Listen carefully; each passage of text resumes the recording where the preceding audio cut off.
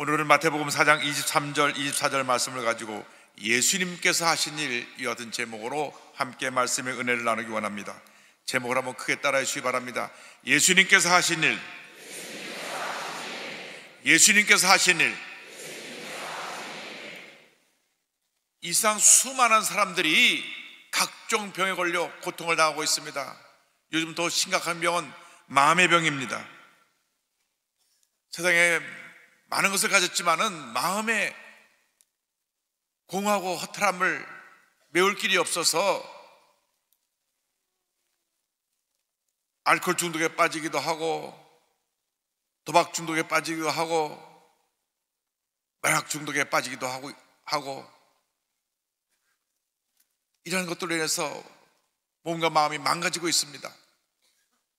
그런데 제가 질병관리본부에서 나온 통계를 찾아보니까 우울증 환자의 상태도 너무 심각해서 2017년도에 69만 1164명이었던 것이 2021년도에 93만 3481명으로 늘어나서 35.1%가 4년 동안 늘어났는데요. 매년 7.8%씩 증가했고 연간 총 진료비도 2017년에 3,038억에서 2021년에 5,271억 원으로 73.5% 진료비가 늘어났습니다. 연평균 14.8%가 늘어났습니다. 지금 2023년이니까 100만 명이 넘어가고 아마 진료비도 엄청나게 더 많이 증가했을 것입니다. 사회가 풍요로워졌다고 하지만 실제로 병이 더 깊어지고 있고 특별히 마음의 병, 우울증, 정신질환은 더 그것이 우리 사회에 많이 퍼지고 있습니다. 어떻게 해야 이 같은 마음의 병, 정신적인 병, 육신의 병에서 넘어를 받을 수 있겠습니까? 우리를 모든 병에서 자유케 하실 분은 인류의 희망 대신 우리의 구해주 예수 그리스도밖에 없습니다. 예수님만이 우리를 마음의 병, 육신의 병, 정신의 병 모든 병에서 노예남 밖에 만들어 주실 것입니다. 예수께서 2000년 전에 이 땅에 오셔서 우리의 모든 죄와 절망, 질병, 가난, 저주를 다 짊어지시고 십자가에서 돌아가셨습니다. 다 이뤘다 하실 때, 하셨을 때에 이 모든 문제가, 모든 질병이, 가난과 저주가 십자가에서 다 주님의 은혜로 멸망을 받은 것입니다. 예수를 믿기만 하면 우리는 영혼이 잘된 같이 범사가 잘 되며 강하게 되는 하나님의 은혜와 축복이 임하게 되는 것입니다. 예수께서 이 땅에 오셔서 행하신 그 중요한 일이 무엇입니까? 마태복음 4장 23절에 예수님이 행하신 세 가지 중요한 일을 말씀합니다. 예수께서 이 땅에 오셔서 하나님의 말씀을 가르치시고 총복음을 전파하시고 모든 병자를 치료해 주셨습니다. 먼저 하나님 말씀을 가르치는 말씀에 대해서 함께 은혜 나누기 원합니다. 마태복음 4장 23절입니다. 예수께서 온 갈릴리에 두루다니사 그들의 회당에서 가르치시며 천국 복음을 전파하시며 백성 중에 모든 병과 모든 약한 것을 고치시니 예수께서 이 세상에 오셔서 말씀을 가르치는 일에 힘쓰셨습니다. 만물의 영장인 사람은 한평생 배우고 또 배워야 합니다. 육체만 자라는 것이 중요한 것이 아니라 지식도 날마다 더 자라나야 되는 것입니다. 육적인 성장과 정신적인 성장과 영적인 성장이 균형을 이루고 자라나야 합니다. 그래서 사람이 죽을 때까지 손에서 책을 놓지 말아야 한다는 말이 있습니다. 배우고 또 배우고 또 배워야 합니다. 배우지 않고 우리가 제자리에 머물러 있기 때문에 다른 사람들은 다 발전하는데 우리는 뒷걸음질을 하게 되는 것입니다. 그래서 우리는 모든 것을 보여야 되는데 그 중에서 무엇보다도 하나님 말씀을 배워야 되는 것입니다. 예수님이 땅에 오셔서 많은 사람들 앞에서 축구 말씀을 전하셨을 뿐 아니라 말씀을 가르치셨습니다. 때때로 제자들에게 한자공에서 말씀을 가르치기도 하시고 많은 무리 앞에서 가르치기도 하시고 그래서 이 많은 말씀을 가르치셨는데 그 대표적인 가르침 초기에 공생의 초기에 가르친 말씀이 산상순이라 그러는데 마태복음 5장, 6장, 7장에 나옵니다.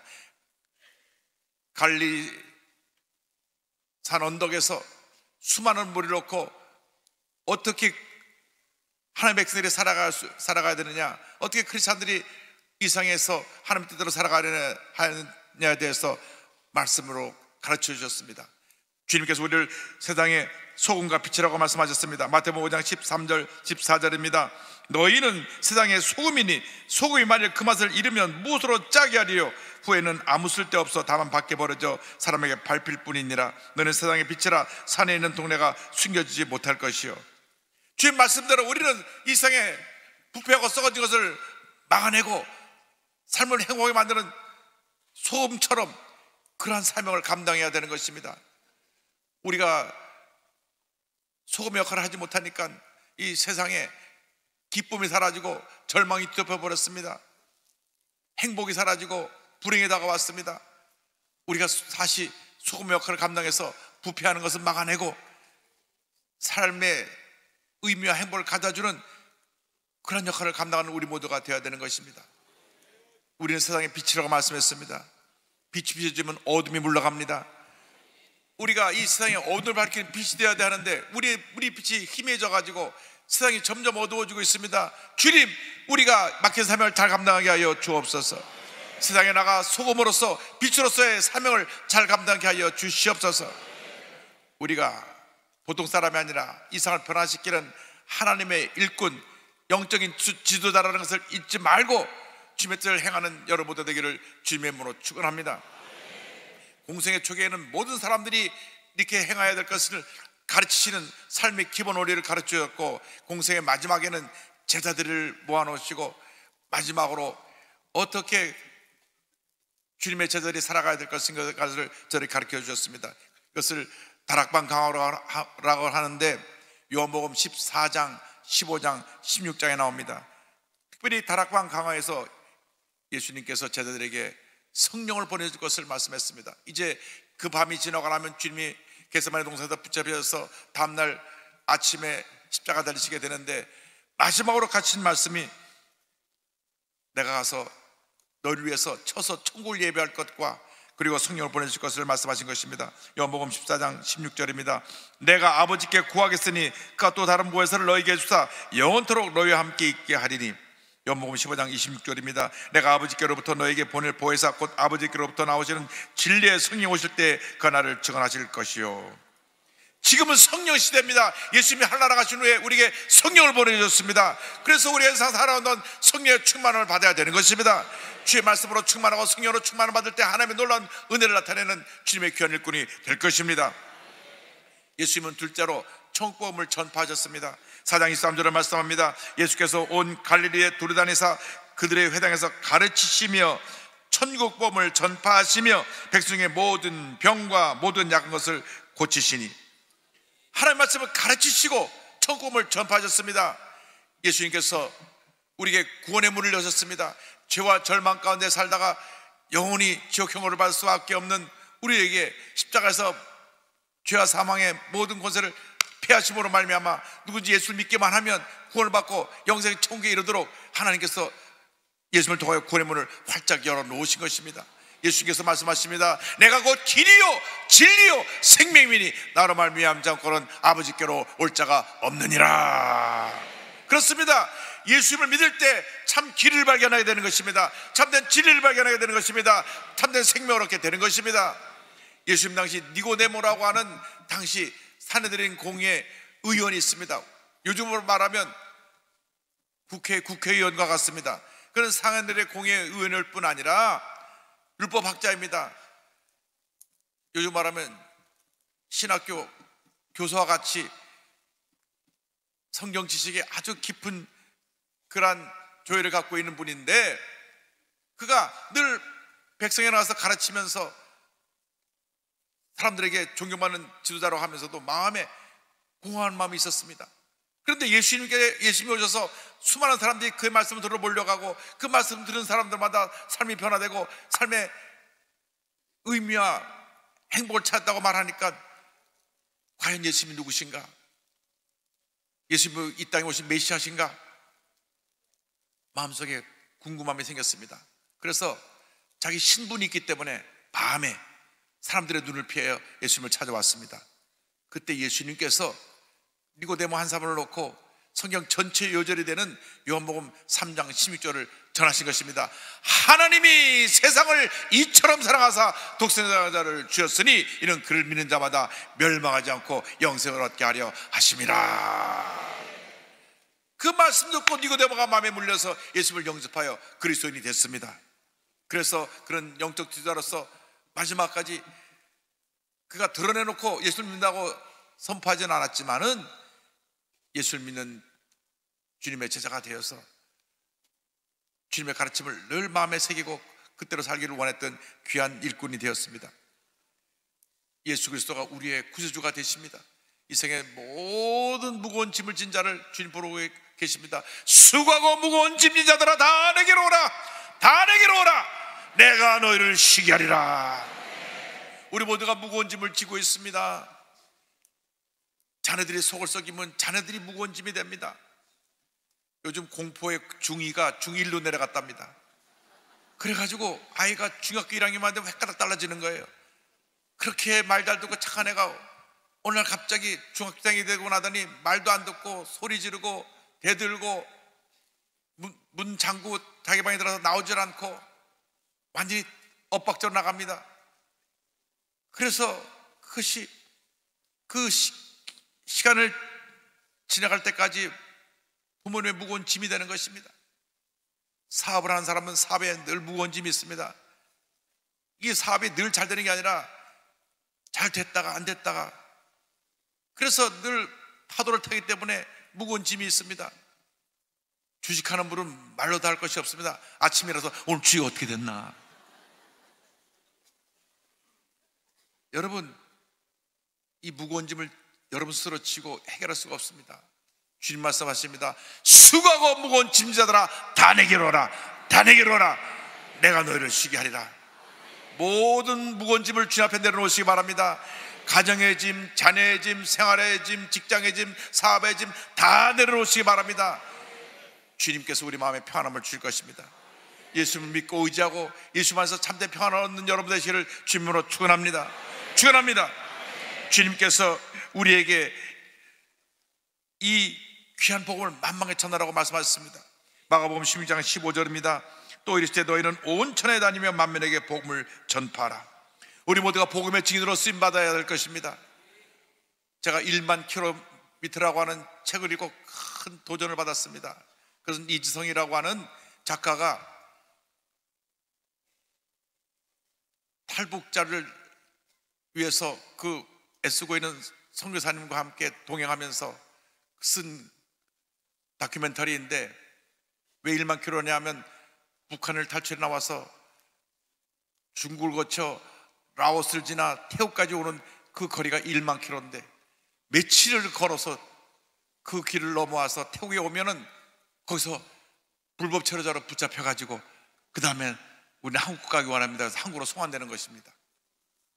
그런데 그 글을 보면서 제가 북한에서 더 기도해야 되겠다. 왜? 2,500만이 아직도 예수님을 모르고 있습니다. 예수를 믿는 사람은 다 붙잡혀 감옥에 갑니다.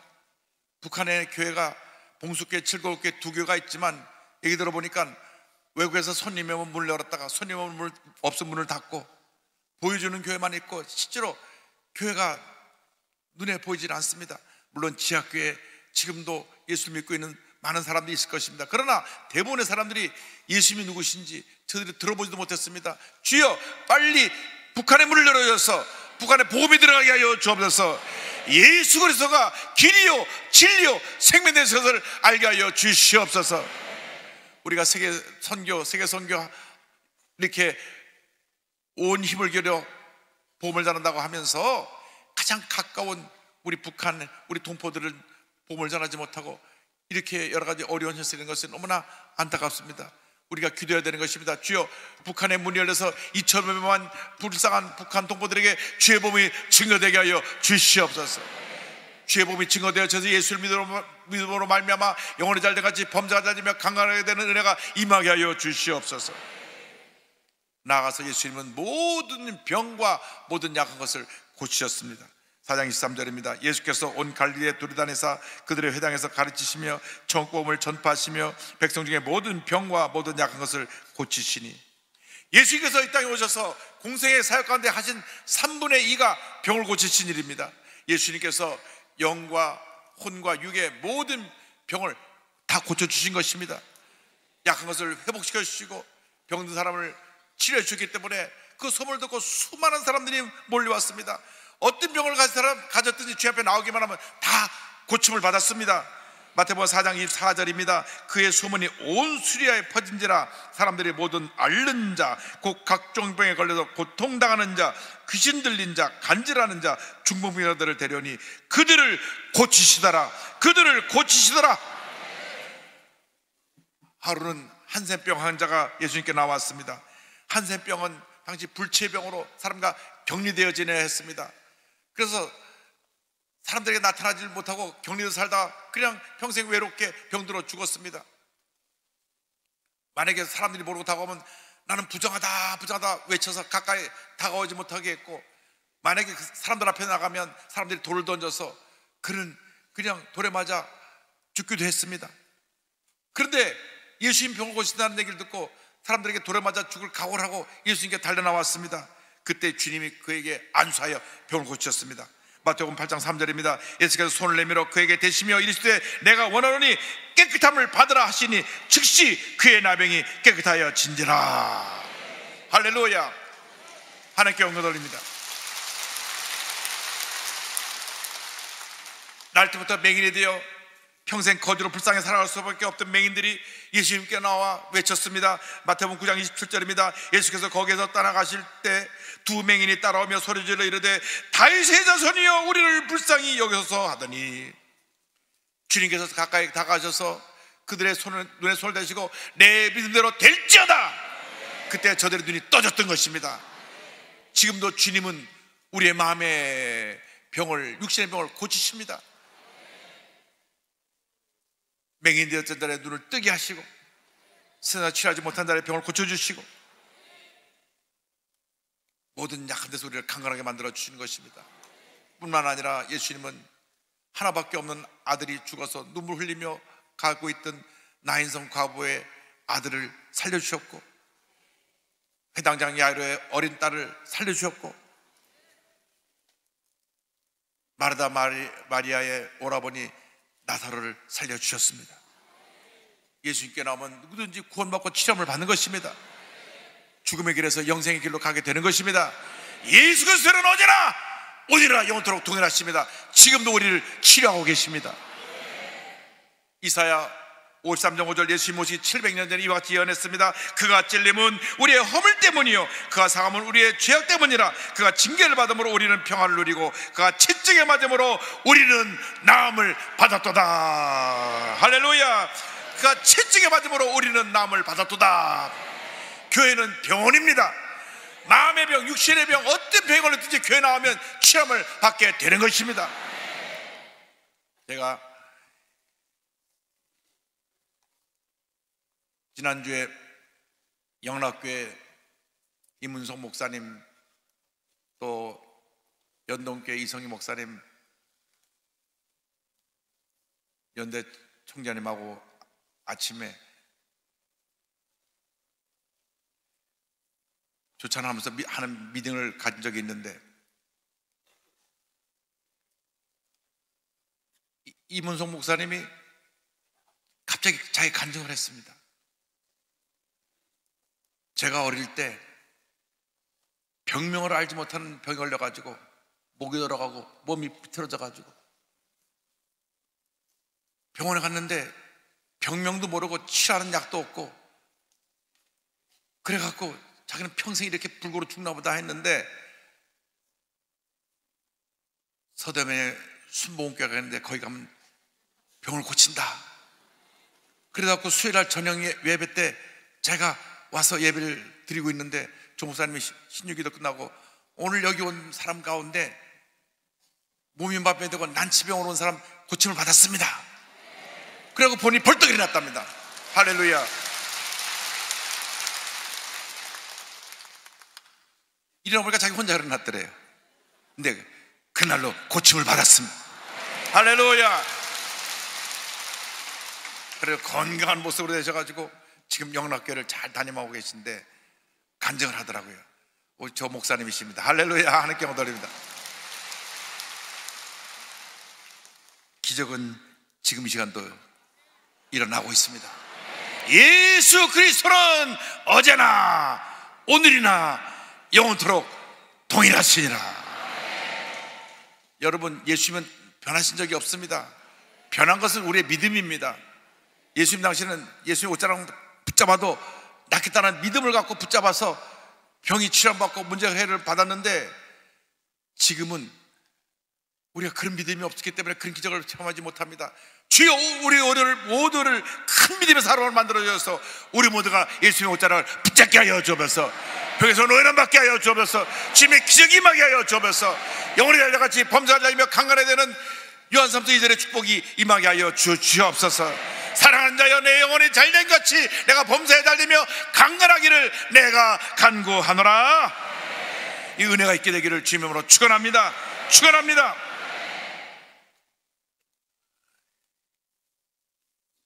저에게 여러분들이 책을 보내준 보내오십니다.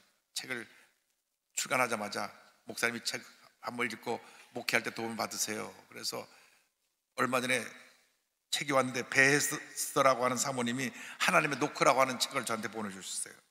이분은 세 가지 중독과 교통사고에서 건, 건지신 하나님의 은혜를 여기서 간증하고 있는데 예, 식이장애, 급성 알코올 중독, 약물 중독에서 치료받고 그 다음에 교통사고에서 살아나서 지금 몸, 몸 찬양 사역 치유 사장 사역을 하고 있는 고동교회 사모님이신데 모태 신앙인 이 사모님은 외할머니와 어머니의 뜨거운 기도로 어릴 때부터 무용하고 발레를 했습니다.